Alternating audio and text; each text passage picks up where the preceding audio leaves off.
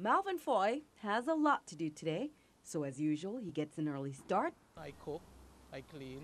But Malvin is faced with daily challenges as soon as he steps out of his driveway. You know, traveling on the sidewalks, there's a lot of times we have a lot of cars. You see, Malvin is visually impaired, a result of diabetes. The young St. Thomian says getting there is half the battle. Now we have to now step into traffic, and that's very dangerous.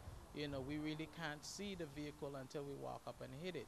Our sidewalks are very uneven, so sometimes you don't, you can't find them. Sometimes the sidewalks are so narrow, and in the cracks of the sidewalks, there's sometimes grass. Malvin adds the other part of the battle is employment.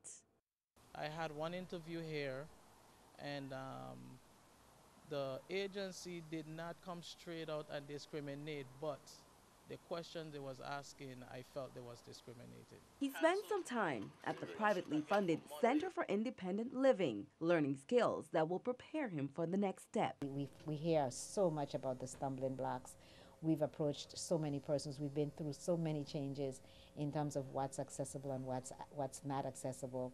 Malvin says his hope is that people become more aware and pay attention to the ability and not the disability. I think each one of us need to take the time to be a little bit more sensitive, whether it's a blind person, whether it's a deaf person, cripple, wheelchair, whatever the case may be, you know, take the time and have that patience because you never know in life what may happen.